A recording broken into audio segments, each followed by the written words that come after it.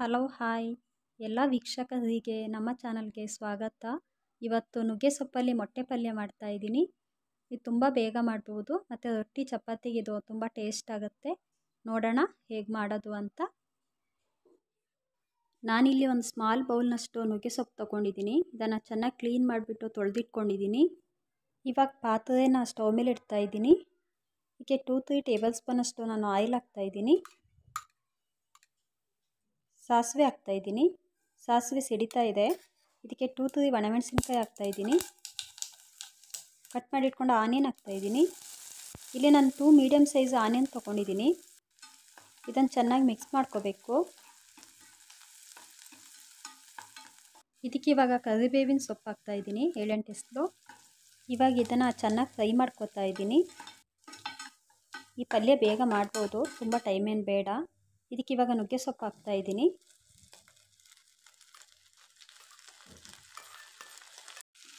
ಇದನ್ನು ಇವಾಗ ಚೆನ್ನಾಗಿ ಮಿಕ್ಸ್ ಮಾಡ್ಕೋಬೇಕು. ಲೋ ಫ್ಲೇಮಲ್ಲಿ ಬೇಯಿಸ್ಕೊಳ್ಳಿ. ಫ್ಲೇಮ್ ಜಾಸ್ತಿ ಮಾಡಬೇಡಿ, ಸೀದೋಗುತ್ತೆ. ಇವಾಗ ಇದನ್ನು ನಾನು ಟೂ ತ್ರೀ ಮಿನಿಟ್ಸ್ ಮುಚ್ಚಳ ಮುಚ್ಚಿ ಬೇಯಿಸ್ತಾ ಇದ್ದೀನಿ.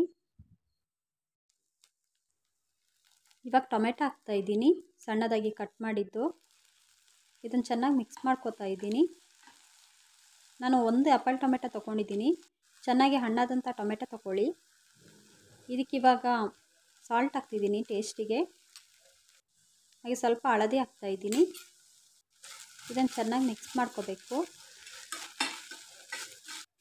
ಇವಾಗ ಇದನ್ನು ಮುಚ್ಚಳ ಮುಚ್ಚಿ ಒಂದು ಟೂ ತ್ರೀ ಮಿನಿಟ್ಸು ಬೇಯಿಸ್ಕೋಬೇಕು. ನೋಡಿ, ಇದು ಇವಾಗ ಆಗಿದೆ. ಇದನ್ನು ಚೆನ್ನಾಗಿ ಮಿಕ್ಸ್ ಮಾಡ್ಕೋಬೇಕು.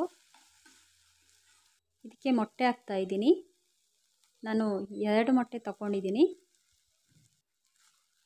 ಇದನ್ನು ಚೆನ್ನಾಗಿ ಮಿಕ್ಸ್ ಮಾಡ್ಕೋಬೇಕು.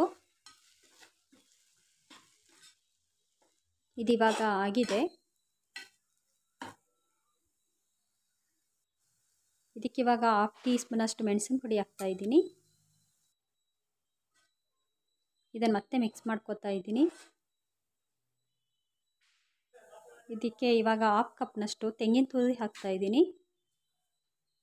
ಇದನ್ನು ಮತ್ತೆ ನಾನು ಚೆನ್ನಾಗಿ ಮಿಕ್ಸ್ ಮಾಡ್ಕೋತಾ ಇದ್ದೀನಿ. ಇವಾಗ ಈ ಪಲ್ಯ ಆಗಿದೆ. ಈ ವಿಡಿಯೋ ನಿಮಗೆಲ್ಲ ತುಂಬ ಇಷ್ಟ ಆಗಿದೆ ಅಂದ್ಕೋತೀನಿ ವಿಡಿಯೋನ ಶೇರ್ ಮಾಡಿ ಲೈಕ್ ಮಾಡಿ, ಹಾಗೆ ಸಬ್ಸ್ಕ್ರೈಬ್ ಮಾಡಿ. ಮತ್ತೆ ಮುಂದಿನ ವಿಡಿಯೋದಲ್ಲಿ ಸಿಗೋಣ. ಬಾಯ್